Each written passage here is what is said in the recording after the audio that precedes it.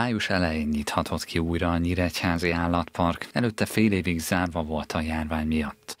Nem csak a pandémia miatt, de egész Európában új kihívások előtt áll az állatkerti szakma. Most hiába van más sok vendég bevételek terén, nem tudják behozni a lemaradást.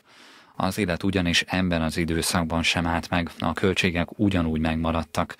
Mindenről a Nyíregyházi állatpark igazgatója beszélt a 35 percben. A sóstózóban ettől függetlenül sem álltak meg a fejlesztések. Idén átadták az India házat, és épül a jégkorszakot megelevenítő egység, amelyet két éven belül átadnának a látogatóknak.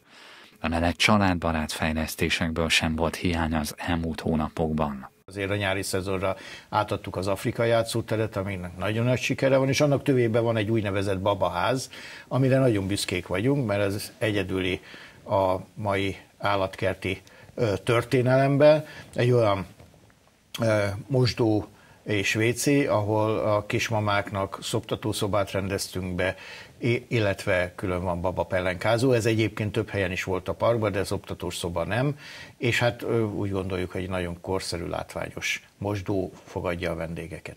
2019-ben több mint 600 ezer, tavaly a járványhelyzet miatt már csak 400 ezer látogatója volt a parknak, idén ennek elérése a cél.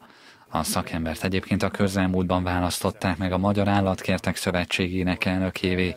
Ennek kapcsán elmondta, minél előbb meg kell újulni a hazai állatkerti szakmának, fejleszteniük kell a létesítményeknek.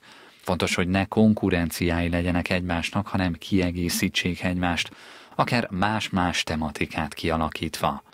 Vajdos László az állatkertek változó feladatairól is beszélt a műsorban. Nagyon-nagyon előtérbe kerültek az állatjóléti szempontok, tehát ma már nem egy állatkert, egyébként már régen nem, e, csak arról szól, hogy de valamikor így e, kezdődött évszázadokkal ezelőtt, hogy hogy hát ilyen célú mutogatása az állatoknak minél kisebb ketrecbe.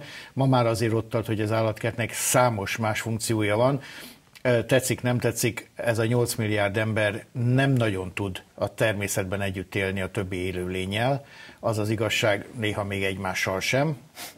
És, és hát bizonyos élőhelyeket elhódítanak az állatok elő. Az igazgató hozzátette, nagy számban pusztulnak ki a fajok, a jó állatkerteknek pedig az is a feladata, hogy ezeket megőrizze, fenntartsa az utókor számára, és visszaadja a természetnek.